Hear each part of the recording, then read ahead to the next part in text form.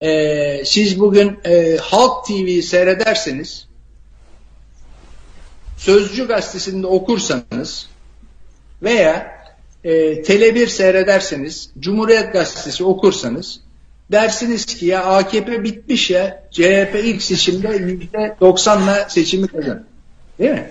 Sonra ne oluyor? Geliyor seçimde herkes karalar bağlıyor ve bu ülkenin özellikle gençleri her defasında bu hayal kırıklığına uğramanın neticesinde ülkeyi terk etme noktasına geliyor.